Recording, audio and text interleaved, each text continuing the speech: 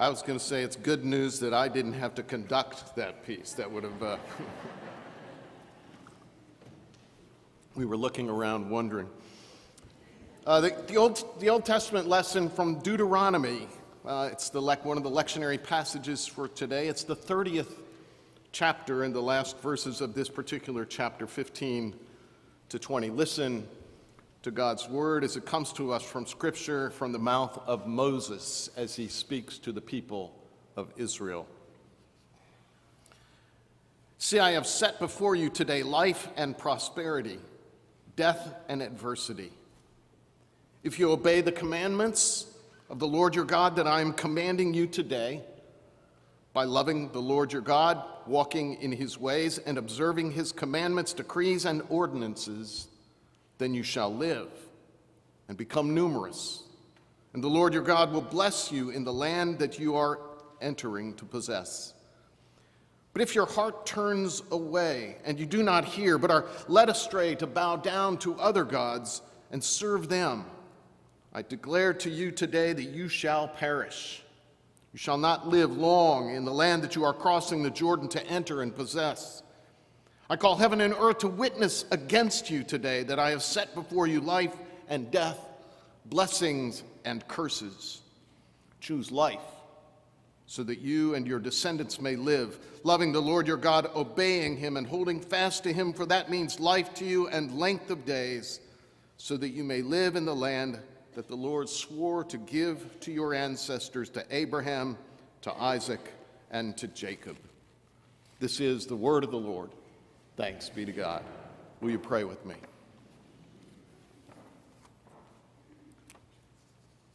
Holy God, give your word to us this day as we ponder yours. A word of life, we pray in Jesus' name. Amen. When I was a young boy, the grocery store in our neighborhood where my mother shopped had a had a play area inside the store right near where you picked up your shopping cart to shop. And, and in the air was a, was a small four horse carousel merry-go-round that you could, you could ride for free as much as you wanted. You, there was a dollhouse that you could actually walk inside and you know, look through the windows as a little kid. And, and there was a 10 by 15 enclosed room, roof and walls had the doors with, with curtains over them. It was, a, it was a miniature movie theater. And it played cartoons of Mighty Mouse, Daffy Duck, and Chilly Willy. Moms would leave their kids there to play while they shopped. I tell you that so that you who cannot imagine leaving your child unsupervised while you go shopping in the grocery store will know there once was a time when that was common practice. And I tell you so I can tell you this true story a friend of mine told me. A mother left her child playing on the rocking horse in the department store while she went and shopped. And she finished up as, as the store was about to close, came back to the children's play area to, to pick up her little boy. He refused to get off the horse. She tried to lift him up, and he bit her. He swung at a couple sales ladies who came over to try to help out. It so happened there was a child psychologist observing these events unfolding. So he went up to the mom, introduced himself, what he did, and suggested, you know, maybe I could help with this situation. She said, by all means, you know, have at it, you know, go for it. So he went over to the little boy, bent over, and, and whispered into his ear. Immediately, the boy jumped down off the horse, ran to his mother, grabbed her hand, and said, Okay, mom, we go home now. Wait a minute, the mother said to the psychologist. You must Tell me what you said to him to make him obey. Said, Nothing to it, the man said. I simply told him, Get off that horse, you little brat, or I'll break every bone in your body.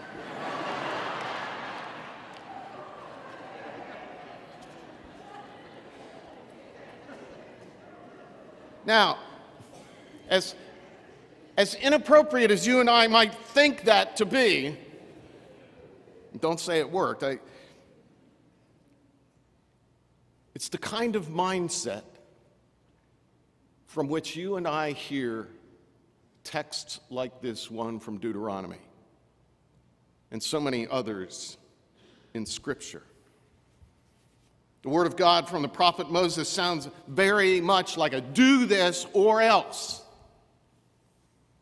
And frankly, a lot of preaching over the years has been pretty similar obey the rules, get ready to burn. God is the enforcer. And, and indeed, here Moses is giving Israel a picture of who they are to be a people of devotion to God and obedience to the law, those two things. This is the life they are to live love God or perish. If they're devoted to God and being the people God calls them to be, they will be blessed. If they don't, they won't.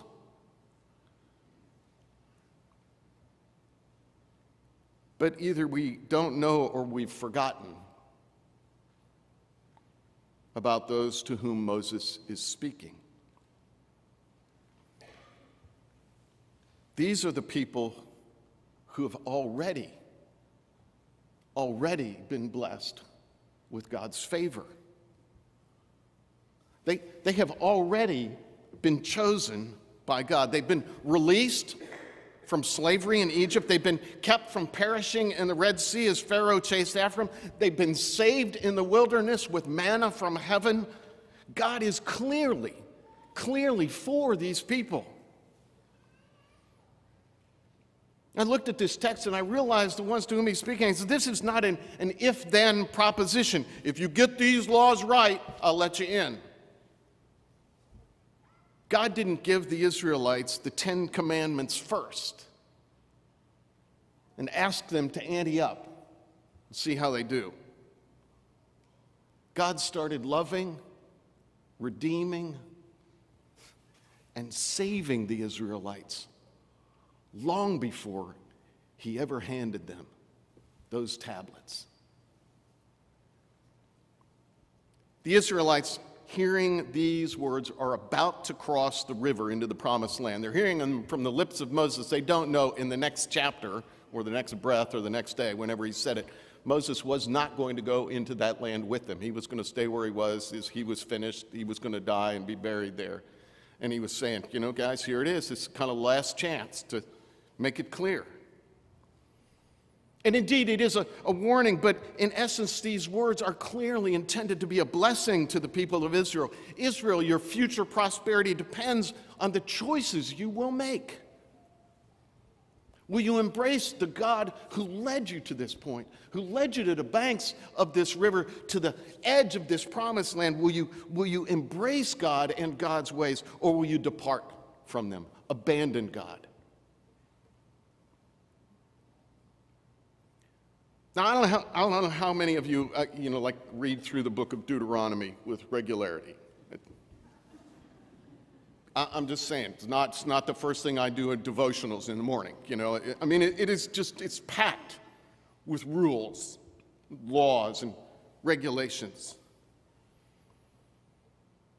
But we hear in this summation here in the 30th chapter, these, these are not the rules of a ruthless dictator. They're not the threats of a cosmic sadist who just comes up with a whole mess of rules and watch us squirm as we try to figure out whether we can perform under them. They're not the warnings of a dispassionate judge. These are the admonitions of a loving parent. You know, those kind of warnings you give your kid. You know, if you poke the cat, you're going to get scratched. I mean, those warnings have little to do with justice or judgment and everything to do with compassion and care and well being, well doing in life. I don't, I don't hear this passage as a threat. It, it is God's love pleading with Israel. It's an invitation to the ways of justice and righteousness, to the life that God has always envisioned Israel might be able to have. It's God saying, please, please, please, for your own good, listen to me. How many times have those words come across a parent's lips? please, for your own good, listen. And, and in recent years, I've officiated at way too many funerals of young adults who've died of overdoses, who didn't have ears to hear or listen. God's law is given as a gift.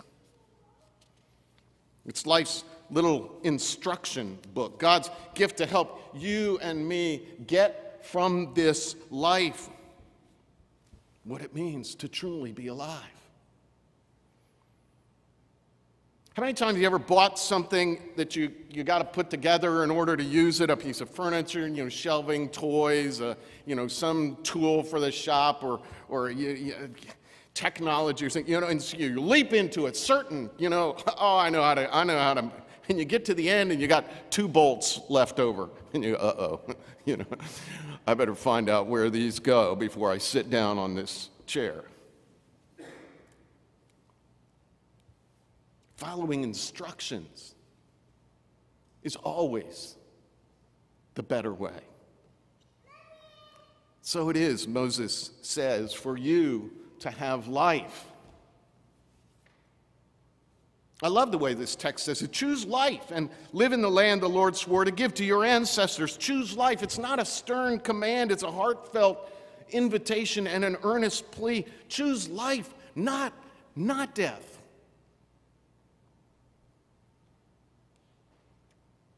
Some of, some of you may have seen, some of you may actually watch the, the TV series The Walking Dead. Uh, a niece and nephew gave the season to me, and, and, and one, one show was pretty much enough. I, you know. I, you know, if, if you haven't seen it, there's these, these walking dead zombie humans with, you know, open wounds and pallid skin. And I, you know, I mean, it's a TV horror series. It, it's, and it depicts the, the living dead, the walking dead, if, if there ever was such a thing. Well, you know, the Bible has a walking dead series too. But the Bible portrays them differently. In the Bible, the walking dead actually look just like everyone else. They dress like everyone else, they work like everyone else, they marry, they have children, they have friends, they have careers. Many have a great deal of fun, but they're still the walking dead. They are living dead because their lives are only for themselves. According to Scripture, real living is only found in relationship with God. And relationship with God always, always leads to living in right relationship with others. Moses isn't, isn't talking so much about a choice between a physical life and a physical death, but between a meaningful life and a meaningless one a life of promise and freedom and joy and hope instead of emptiness and boredom and being captive to brokenness. I mean, he's, he's very clear. You can live with God, be faithful to Him, and it will be life for you. Or you can live for your own, it'll be death. Your choice. Choose now. remember years ago reading a book titled Through the Valley of the Kwai. It's uh, written by uh, Ernest Gordon. And in it, he's recalling the hellish existence he suffered in a Japanese POW camp in World War II. The guards were brutally cruel. Diseases of every kind were rampant, and suspicion was I'm just thriving among the prisoners between each other. Every prisoner was out for himself. Dog eat, dog word, protect, you know, loneliness, despair, daily death was like a blanket over the camp until a prisoner named Dusty Miller a devout Christian, began to care for the other prisoners in need, to bathe and cleanse their wounds, to hold them when they were dying, to cool their brow when they were fevered.